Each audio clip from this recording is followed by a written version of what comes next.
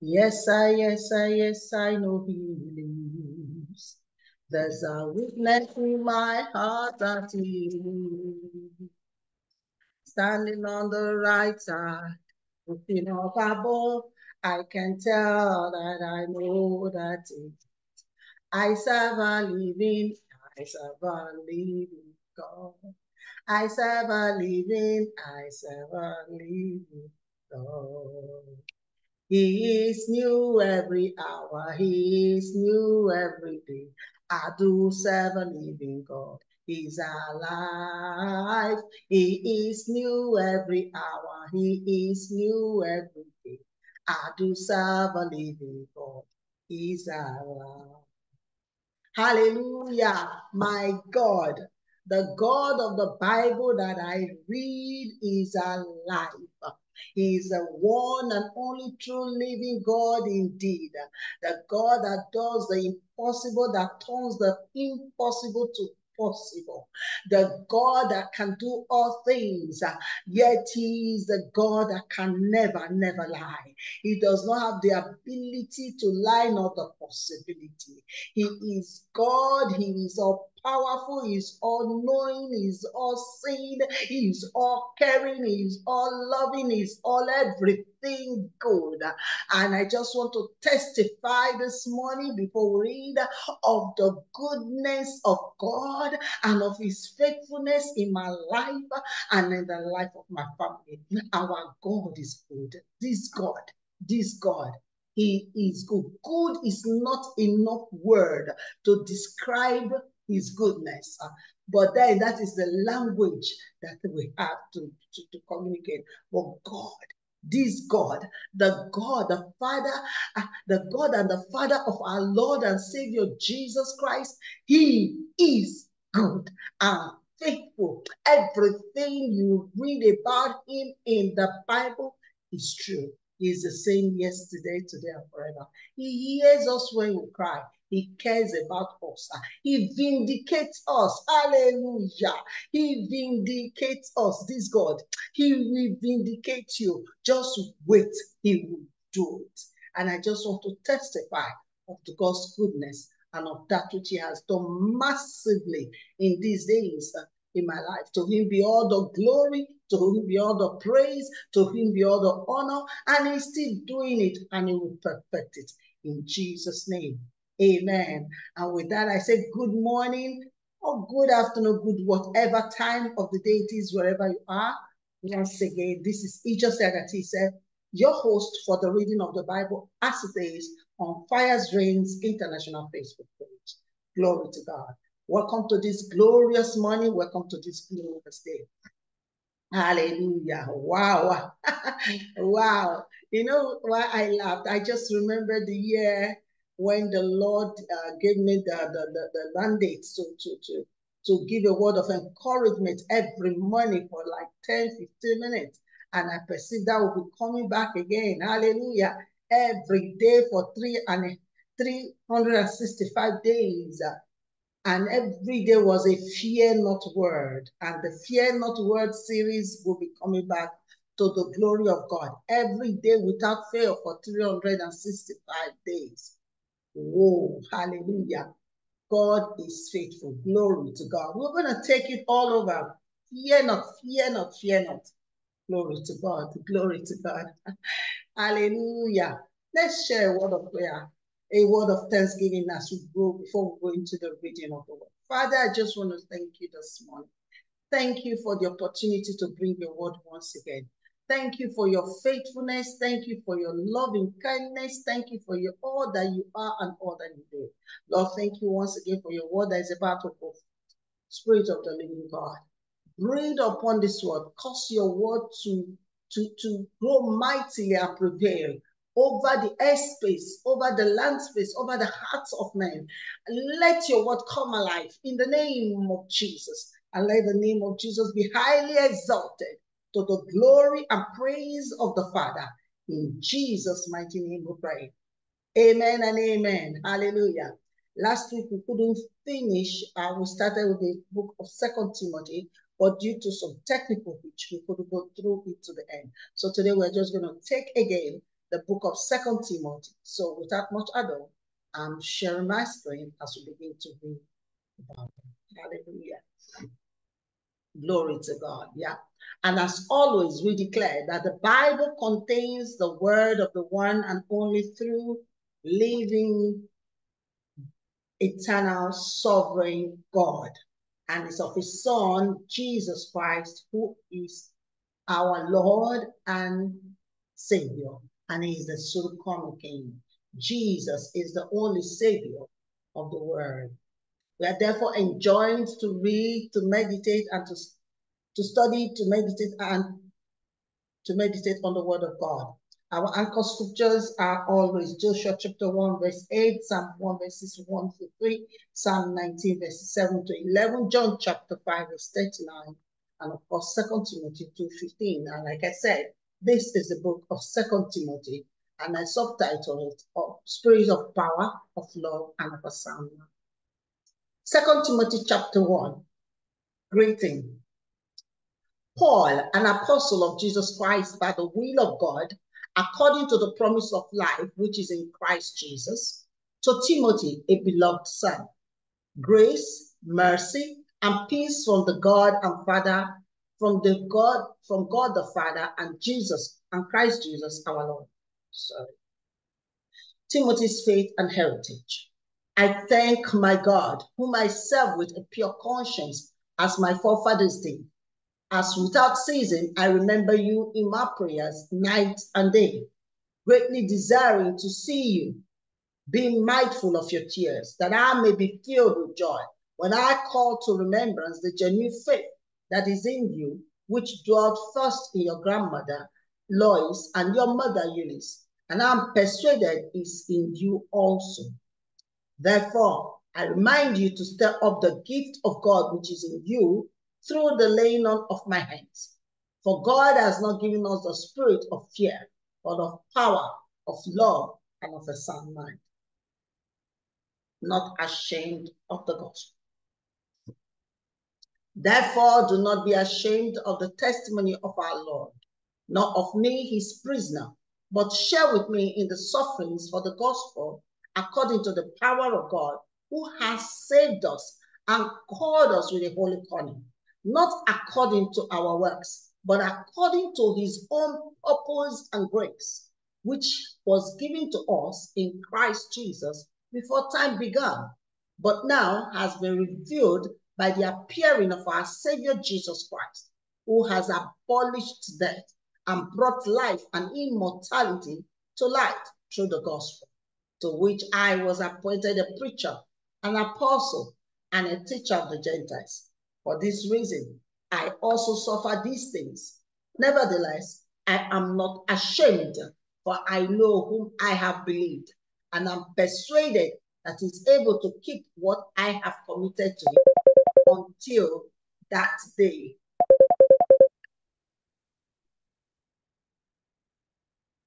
Be loyal to the, to the faith. Hold fast the pattern of sound words which you have heard from me in faith and love, which are in Christ Jesus. That good thing which was committed to you by the Holy Spirit who dwells in us. This you know, that all those in Asia have turned away from me, among whom are Phygelus and Hermogenes and Hermogenes. Hermogenes, I think. The Lord grant mercy to the household of Onesiphorus, for he often refreshed me and was not ashamed of my chain. But when he arrived in Rome, he sought me out very zealously and found me. The Lord grants to him that he may find mercy from the Lord in that day. And you know very well how many ways he ministered to me at Ephesus. You know, this letter is so intriguing, contains some very important nuggets that, you know, when you read, you might just overlook. So God has not given us the spirit of fear, but of love, of power, and of a sound mind. So as a child of God, you've got a sound mind. And you cannot be afflicted with an unsound mind. Glory to God. by because you have the spirit of a sound mind. So we activate the spirit of sound mind over our souls in the name of Jesus. And tells, tells us that God, according to his power, has called us with a holy calling, not according to our works. No wonder it is not of him that willeth, not of him that runneth, but of God who shows mercy. It is God who decides. You know, it brings me to that scripture that uh, uh, in First Corinthians uh, chapter 12, I think is around verse 24, that says, God has placed every part of the body where he desires. Actually, where he desires, because he, he made the body and the function where he puts them. So also he has put us in this body when he called us with this holy calling. Hallelujah. And then we also discover that Christ, Jesus Christ, abolished death and brought life and immortality to life through the gospel. So when you receive the gospel, you come into life and immortality. Glory to God. And look at the confidence of Apostle Paul in Christ Jesus. Say, for I know in whom I have believed. Second Timothy chapter 2. Be strong in grace. You therefore, my son, be strong in the grace that is in Christ Jesus. And the things that you have heard from me among many witnesses, commit these to faithful men who will be able to teach others also. This is always my heart desire. Now, if God brings me across somebody and helps you know, through me teaching some, my, someone, my desire is that that person will be able to communicate the same thing to others. You therefore must endure hardship as a good soldier of Jesus Christ. No one engaged in warfare entangles himself with the affairs of this life, that he may please him who enlisted him as a soldier. And also, if anyone competes in athletics, he is not crowned unless he competes according to the rules. The hard-working farmer must be first must be first to partake of the crops. Consider what I say, and may the Lord give you understanding in all things. Remember that Jesus Christ of the seed of David was raised from the dead according to my gospel, for which I suffered trouble as an evildoer, even to the point of chains for the word of God is not chained. Therefore, I endure all things for the sake of the elect, that they also may obtain the salvation which is in Christ Jesus with eternal glory. This is a faithful saying. If we died with him, we shall also live with him. If we endure, we shall also reign with him. If we deny him, he also will deny us. If we are faithless, he remains faithful. He cannot de de deny himself. Meaning that God can never be faithless, God can never be unfaithful. He always remains faithful, he never said. Your lack of faith will not make God unfaithful to his word. Hallelujah. Isn't that lovely? The word of God is not in change approved and disapproved workers. Remind them of these things, Charge them before the Lord not to strive about words to no profit, to the ruin of the hearers. And this is what I say to everyone that God brings to me that don't stay there arguing and about the veracity of the word of God or not. Do not argue, do not babble about the word of God. If somebody says the word of God is not lived, the word of God is as life and will prove himself at all times. Let's read on. Be diligent to present yourself approved to God, a worker who does not need to be ashamed, rightly dividing the word of truth. This is my best verse here that you know, in the Old King James says, uh, you study to show yourself approved unto God, not unto your pastor, not unto your leader, not unto anyone, but unto God. So you be a worker of God who does not need to be ashamed because you rightly divide the word of truth, which is the word of God. Glory to God. But shun profane and idle babblings, for they they will increase to more ungodliness. and their message will spread like cancer. Hymenaeus and Philetus are of this sort, who have strayed concerning the truth, saying that the resurrection is already past, and they overthrow the faith of some. Nevertheless, the solid foundation of God stands, having this seal. The Lord knows those who are his. And let everyone who names the name of Christ depart from iniquity. If you name the name of Jesus, depart from everything that is iniquity. Hallelujah. But in a great house, there are not only vessels of gold and silver, but also of wood and clay, some for honor, some for dishonor. May you be a vessel of honor in Jesus' name. Therefore, if anyone cleanses himself from the latter, he will be a vessel for honor, sanctified and useful for the master, prepared for every good work. In other words, if you will, you know, depart from iniquity and, and everything that is ungodly, you will be a vessel unto honor. Flee also youthful lust, but pursue righteousness, faith, love, peace with those who call on the Lord out of a pure heart. But avoid foolish and ignorant disputes, knowing that they generate strife. Yes, and the servant of the Lord must not quarrel, but be gentle to all, able to teach, patient, in humility, correcting those who are in opposition if God perhaps will grant them repentance so that they may know the truth and that they may come to their senses and escape the snare of the devil, having been taken captive by him to do his will. So, as believers, we should be apt, able to teach the word of God in all humility. We correct those who are in opposition if they will receive correction, God granting them repentance. Hallelujah. Second Timothy chapter 3, perilous times and perilous men. But this know that in the last days perilous times will come.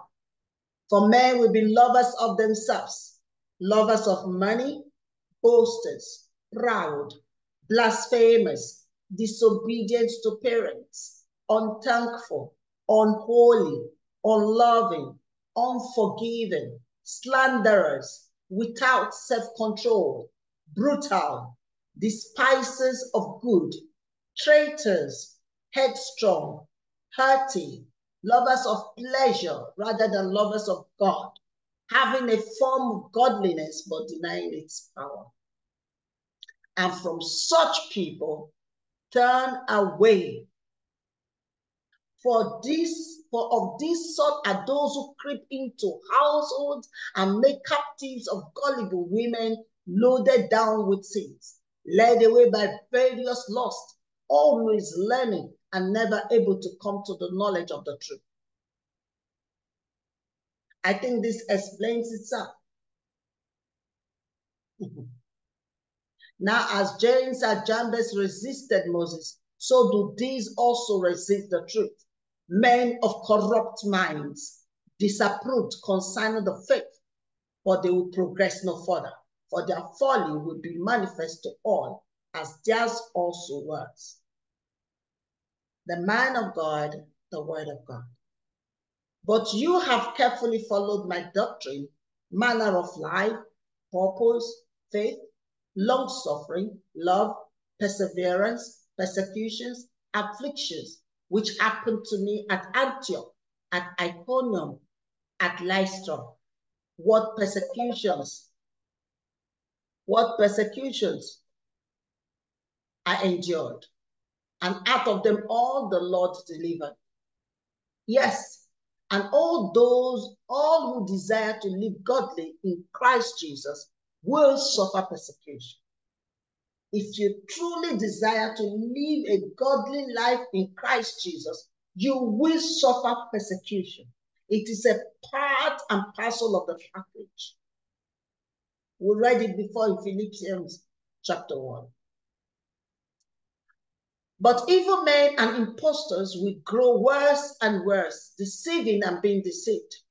But you must continue in the things which you have learned and, be, and been assured of, knowing from whom you have learned them, and that from childhood you have known the holy scriptures, which are able to make you wise for salvation through faith which is in Christ Jesus.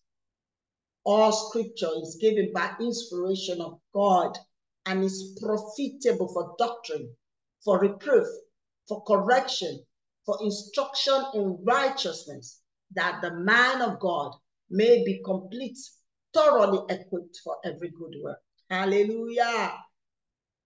And lastly, Second Timothy chapter 4. Preach the word. I charge you therefore before God and the Lord Jesus Christ, who will judge the living and the dead that is appearing and kingdom. Preach the word. Be ready in season and out of season. Convince, rebuke, exhort with all long suffering and teaching. For the time will come when they will not endure sound doctrine, but according to their own desires, because they have itching ears, they will heap up for themselves teachers, and they will turn their, their ears away from the truth and be turned aside to fables. But you be watchful in all things, endure afflictions, do the work of an evangelist, fulfill your ministry. And this particular word that Apostle Paul spoke, we are saying it right now. We are saying it right now. Some churches, like the Church of England, a part of them joining to, to, to, to, to, to, to, to preach the wrong word for same-sex marriage, excuse me. The word of God remains sure. Husband and wife is man and woman.